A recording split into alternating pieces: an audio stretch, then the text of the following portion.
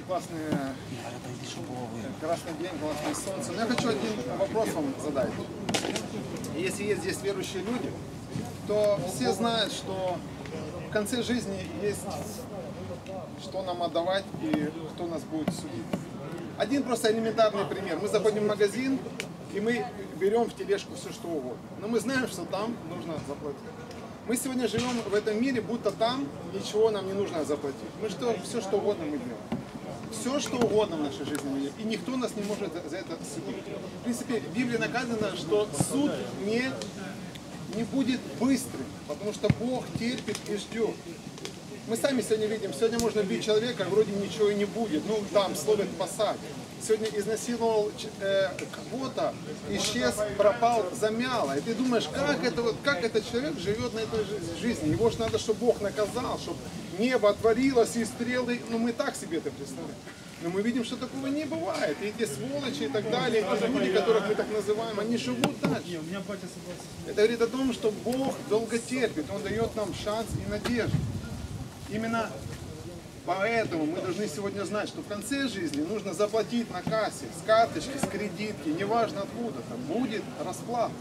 И поэтому мы своими силами не можем прийти к Богу и сказать, все, вот я сдал экзамен, спасибо, давай мне все. Такого не будет.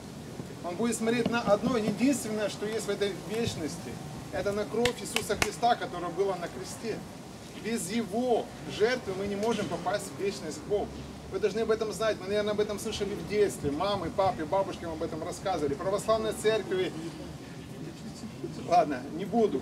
Веником в- лицо утром 4 утра, один раз в год и так далее. Мы об этом все знаем. Но когда люди умирают, они спрашивают всегда один и тот же вопрос, а что дальше? И им, им спрашивают, а как ты жизнь свою прожил? Я хочу извиниться.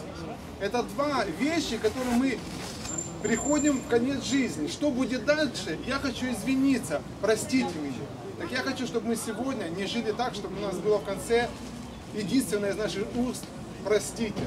А я хочу, чтобы мы так жили, чтобы мы сказали, Бог, я готов, я хочу к Тебе. Я благодарю Тебя за мою жену, за моих детей. Именно поэтому здесь каждую субботу проповедуется Евангелие, Слово Божье.